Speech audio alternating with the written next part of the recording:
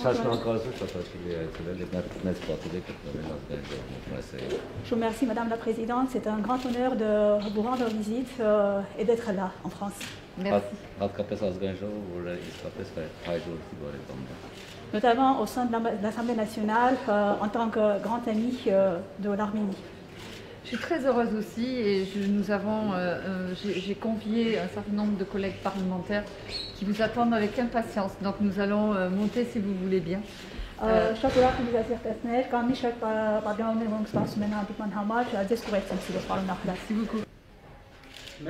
Merci. vous qui